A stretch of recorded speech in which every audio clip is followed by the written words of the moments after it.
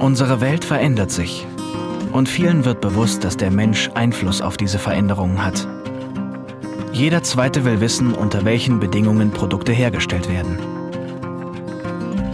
Im Schnitt verbraucht jeder von uns 20 Kilogramm Baumwollstoff pro Jahr, dessen Produktion durch einen hohen Wasserverbrauch und enormen Einsatz von Pestiziden gekennzeichnet ist, die die Umwelt stark belasten.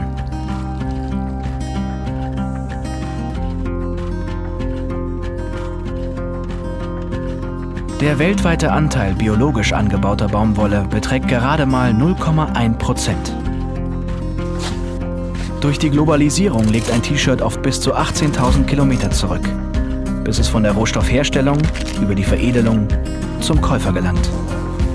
Der Absatz von Fairtrade-Produkten hat sich zwar verdoppelt, steht aber gerade mal mit 70 Cent einem Gesamtkonsum von 16.000 Euro pro Person gegenüber.